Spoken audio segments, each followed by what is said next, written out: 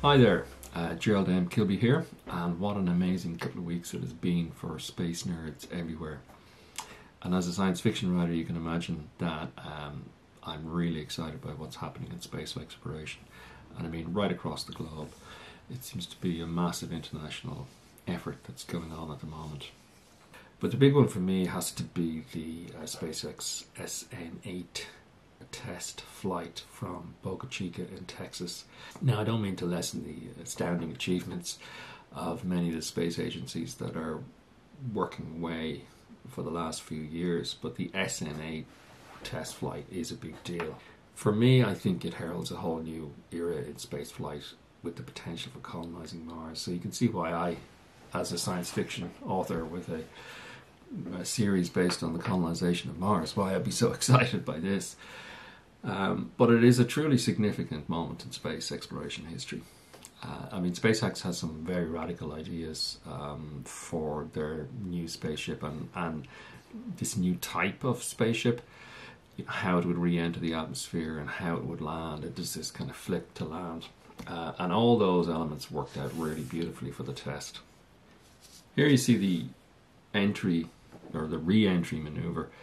Uh, the ship uh, flips over onto its belly and it presents maximum um, surface area to the atmosphere. So it's using the friction of the air to slow itself down and it's keeping itself stable by using the four fins on the sides uh, of the ship.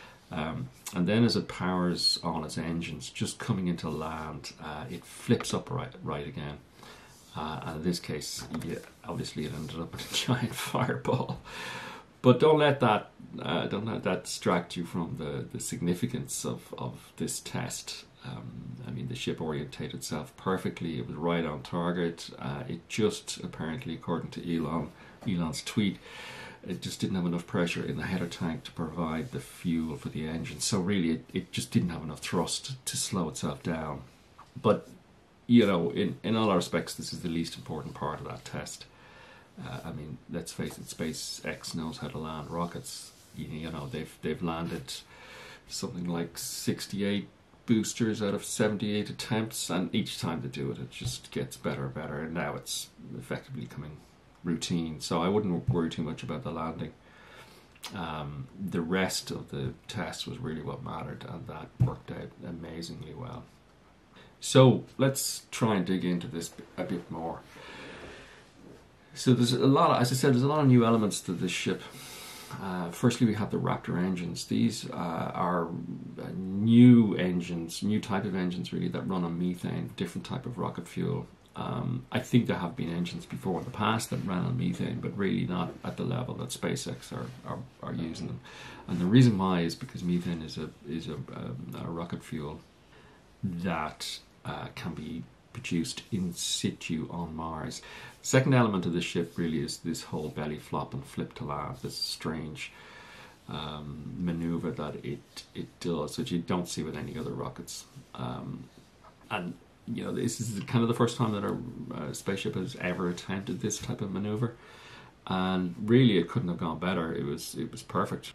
And as you can see with this with this test, you know, SpaceX has has effectively gone a, a, long way to prove the viability of the Starship concept. I mean, many people have kind of said, ah, you know, it looks like a tin can, and you know, it's not going to work, and you know, it's too crazy, and and whatever.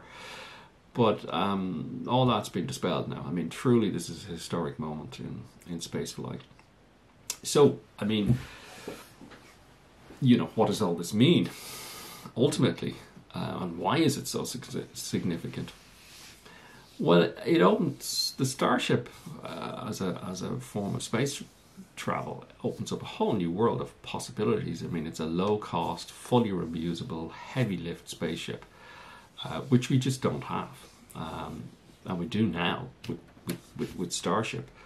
So to, to put this in perspective, if you take say the cost of um, the launch, say of a Falcon 9, that's about sixty million dollars. Now, that's you know, roughly, depending on who you ask and, and who's doing the buying and so on. Um, if you take a Falcon Heavy, that's around 90 million for a launch. Uh, and if you look at the new NASA uh, space, space Launch System (SLS), um, which they're hoping to use for lunar and Mars missions. Um, I mean, it's very hard to put a figure on the cost of launch on this, but it's it's we're talking billions, easy, a single launch because none of it's reusable. It's it's all used up in, in, in the launch, and that's it. Then you want another launch, you need to build another one. Um, but the cost of the Starship launch really is only just the cost of fuel, uh, which SpaceX estimates to be around about two million a pop, um, and that's I think after they get fully up to speed with production uh, which is, you know, a pittance by comparison.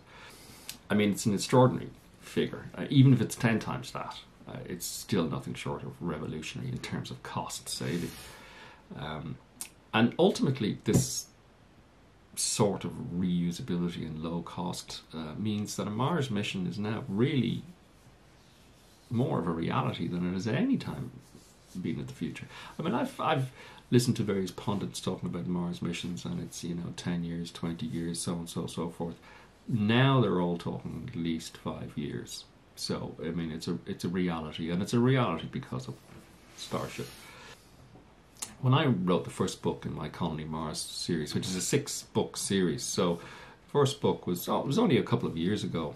Uh, I was basing the um, the mission. You know, at the start of the book, there's a mission that lands down on Mars from the ISA, the International Space Agency, as such. Uh, and I was basing all that on the uh, Mars Direct and Mars Semi Direct proposal from uh, uh Robert Zubrin, which in, originally envisaged using NASA's Ares rockets, uh, which I think was in development or, or it was a concept. Um, and later, they, they Zubrin sort of re, re-engineered the proposal based on the cost of the Falcon Heavy. But the price roughly of all of that. Um, now, this, remember, was the most cost effective mission plan at the time. And it came in somewhere between 5 billion and 55 billion, depending on who was doing it, whether it was a NASA or whether it was a private agency or what rocket was proposed, and to some extent who you ask as to what the price of it is. But suffice to say, that's a lot of money. Now, if you compare that to SpaceX uh, which in 2012, I think Elon Musk mentioned that uh, it might be a trip to Mars might be as low as 200 grand US dollars per person. Now, obviously, there's some caveats here. We're not taking into consideration the cost of building the ships, and obviously there'd be several needed for big supplies and people, and then we'd be talking about the cost of infrastructure. You know, the hab, the fuel processing, the power generation, although they probably could use the spaceship as the hub because it's big enough. Uh, but still, overall, you can see that Starship, it's not just cheaper, it's orders of magnitude cheaper. So, you know, by the time I got to writing the third book in the Colony Mars series, I'd moved on to starships. Um, in fact, there's a scene where our hero, Jann Malbec, is, is looking out across Jezero City at a tall, gleaming starship ready and waiting on the pad in Jezero Crater. And really, I do think that the first human flight to Mars uh, and the first boots on the ground there will be via a SpaceX Starship. I really don't think um, economically there's any other option. Um, but we'll see. We'll wait and see. So my my feeling is that when that when SN8 landed back down on the pad, even if it wasn't a fireball um, in Boca Chica, you know, it, it's it, it, has heralded a whole new age of space travel. Um, I, I, think it, it, it, will go down as the moment uh, when the solar system just got a whole lot smaller. Anyway, that's all from me. Um, I'll leave some links in the description about. Mars Direct and, and other things you might find interesting. Uh, and and if you want me to do something on, um, you know, how a Mars mission might pan out, or even how um, colonization of Mars might might work, or might you know, practically speaking, uh, just leave me a comment um, in the comment section below, and uh, I'll see what I can do. I'll, I'll certainly do something if there's enough interest in it. Anyway, look, that's all from me, and I shall see you next time. Take care.